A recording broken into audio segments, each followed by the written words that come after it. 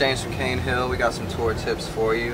Um, I think my number one tip is to like bring a fucking book sack or something, you know, because you never know what you're gonna wind up in, and it's, you know, it's like it's like a girl having a fucking purse, you know, like that's your fucking shit to just like, you know, so it's very essential.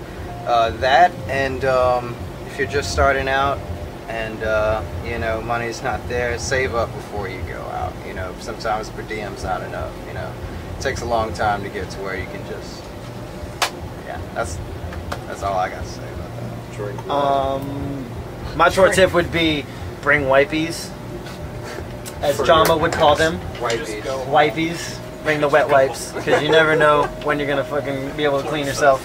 Um, also, uh, I would definitely say, um, you know, I don't really know anything else.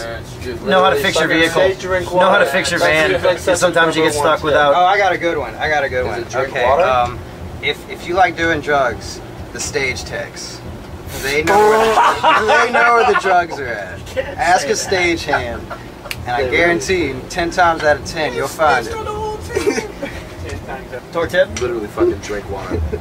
no one said it. Drink water. Fuck water. Fucking stretch, dude. Don't pull a Yeah, stretch. hamstring. Always stretch. You don't want to be like me. I can't off bend over today, skier, so and I don't drink water, and it's I feel hurting. like shit. It's only 4 p.m. and I put sunscreen on three times already, so that would be my tip. Don't wash for Are these everything. war tips or Don't- like Stay normal the- tour tips? Stay in the shade. like war tips? Stay in the shade. in I the was giving in general and tips. Put, put sunscreen on from, from the, the minute you wake up. Just in bed. Yeah. I haven't worn sunscreen since the second day, and I can feel my skin. Yeah, I never wear it.